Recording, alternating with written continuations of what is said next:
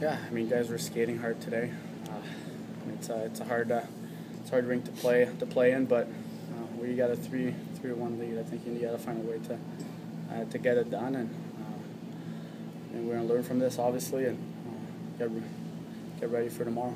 So what do you think went wrong? You guys were going pretty strong there for a while. Yeah, I mean, I mean we played a solid game. Uh, Bruce played all right, and uh, he kept us in the game too. So I think uh, everybody was on the same page. It's just they had some uh, some goals there that uh, I'm not too sure. Uh, they had a couple lucky bounces and uh, a couple tips. So it's uh, at the end of the day we got to find a way to, to get it done.